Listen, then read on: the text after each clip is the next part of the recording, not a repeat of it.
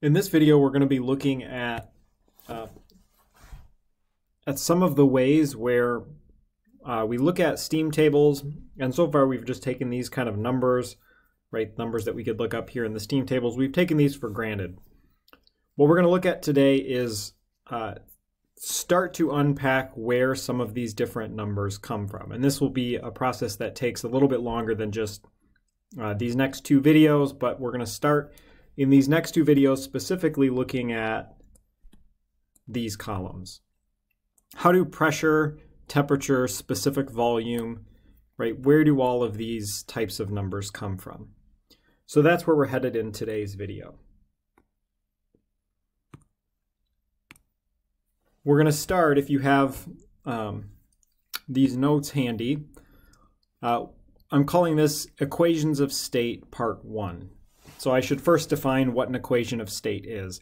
Uh, we probably aren't going to use that terminology too much um, throughout this course, but I think it's it's useful terminology because this is exactly what we're doing. We're looking at equations of state.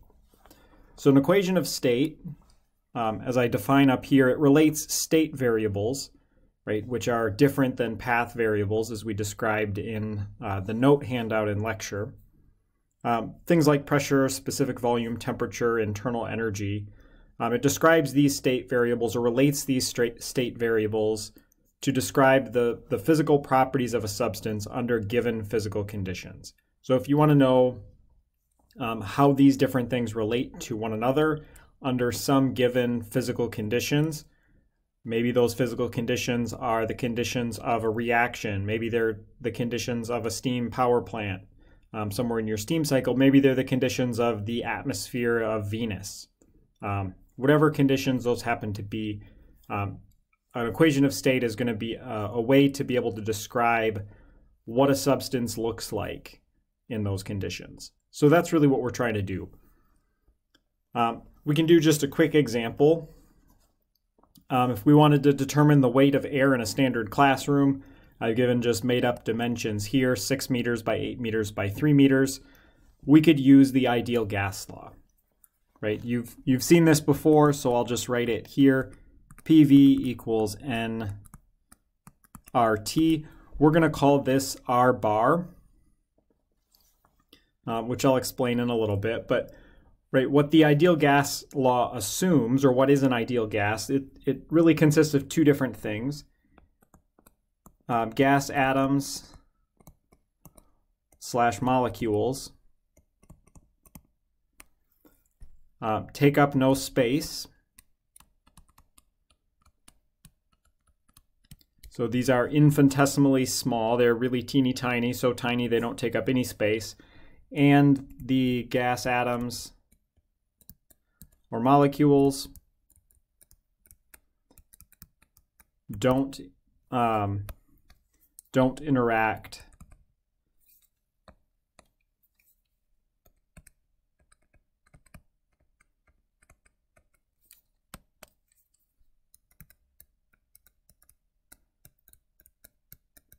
with each other. Uh, so they don't attract, they don't repulse each other, they don't ever see each other at all. Uh, and these are kind of the two fundamental assumptions behind an ideal gas.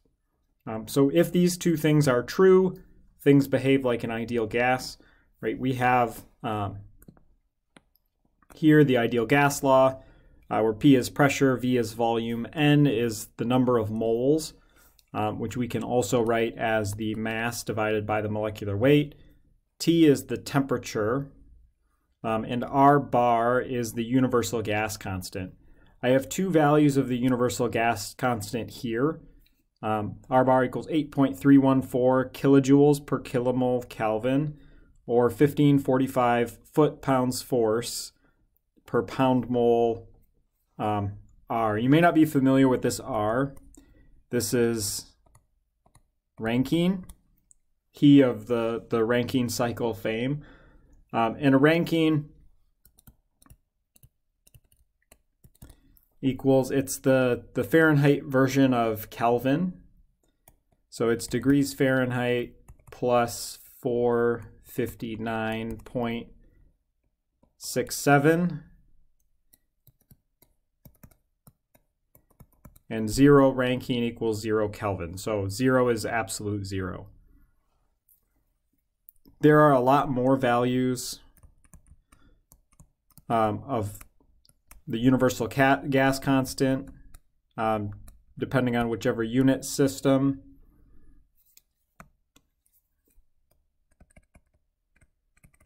Uh, there are a lot more values than Wikipedia. That's actually a, a kind of handy source because it has in all different unit systems. Um, it has calculated this uh, universal gas constant R bar. Just search universal gas constant and it'll pop up. Okay, so we wanted, kind of diverted a little bit, we wanted to determine the weight of air in a standard classroom. So let's actually go and do that problem right? PV equals nRT, so our pressure would be 101.3 um, kilopascal, or I'll just call it kilojoules per meter cubed. That's our pressure. Um, our volume was 6 times 8 times 3. Uh, that's 144 meters cubed. Um, that equals n times r, which is 8.314 uh, kilojoules per kilomole Kelvin, and our temperature is 298 Kelvin. Say it's room temperature. So that's an important thing to note. Uh, when we're using this, as you might remember, we need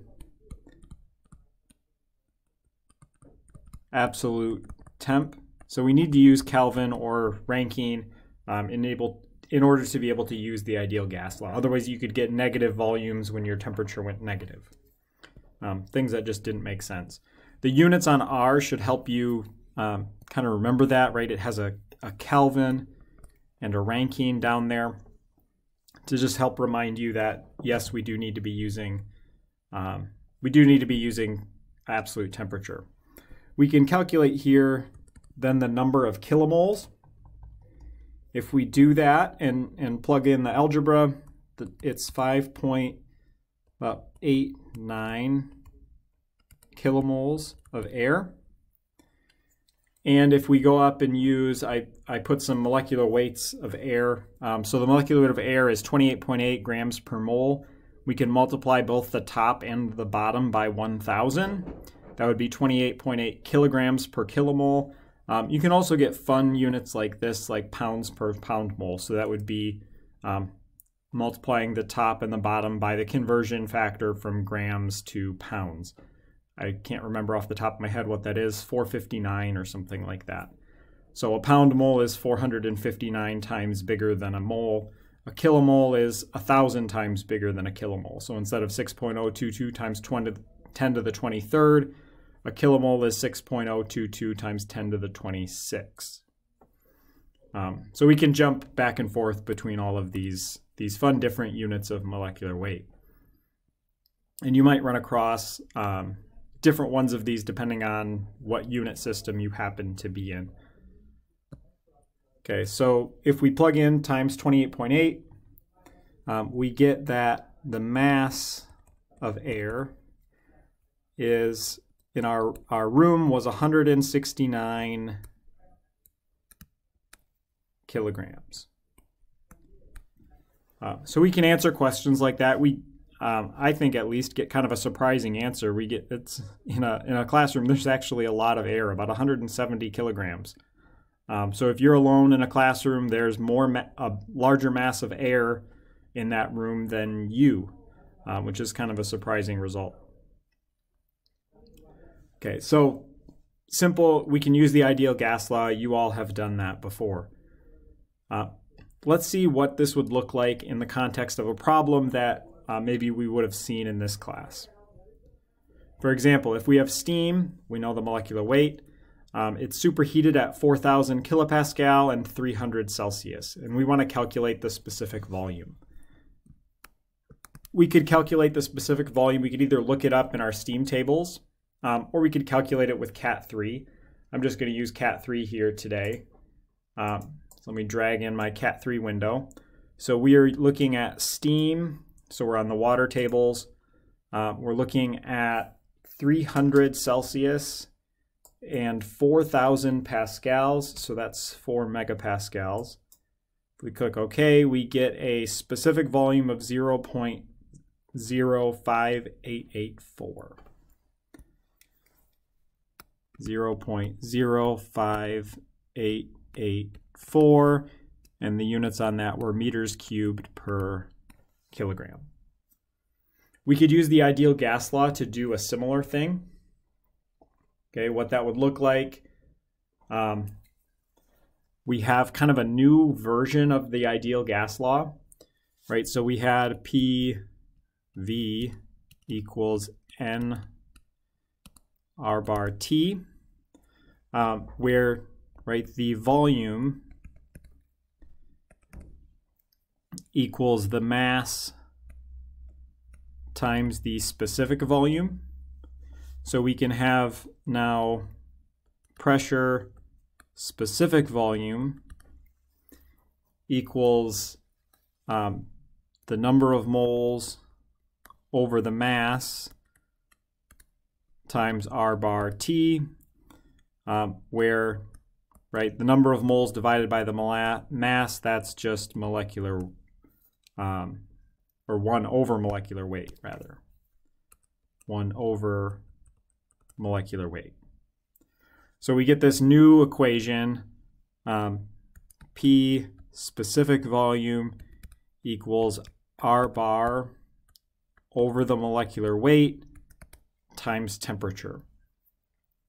And often it's the case that uh, we'll use a, this type of um, setting. So sometimes we actually will just call this, um, we call R bar over the molecular weight. We call that R.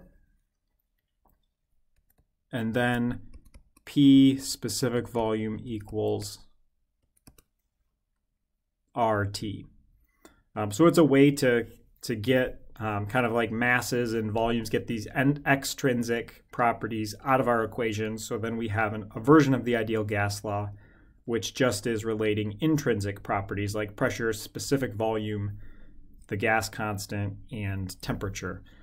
Uh, right, this gas constant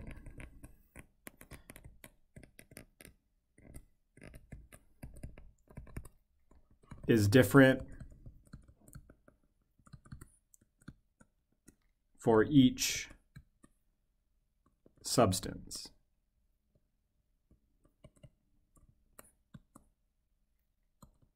Right, because it's R bar over the molecular weight. So each different molecular weight is going to give a different gas constant R.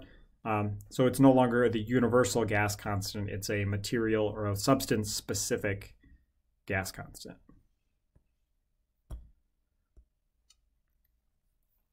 Okay, so let's go through and actually calculate this. Our, um, let's see, our pressure was 4,000 kPa. Another way of writing kPa is kilojoules per meter cubed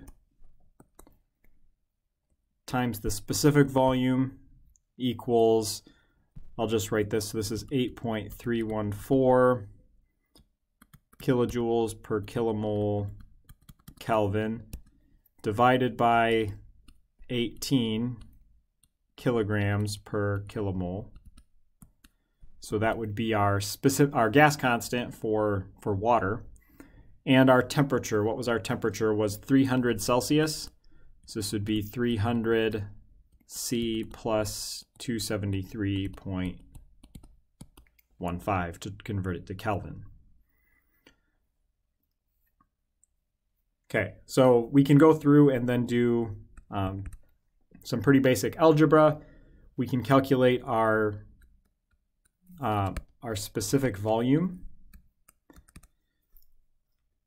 to be 0.0662 meters cubed per kilogram.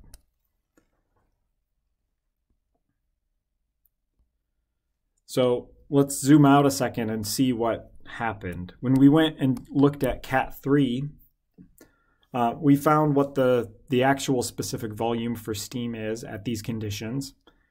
But now we've gone through and calculated what it should be based on the ideal gas, and these two are different.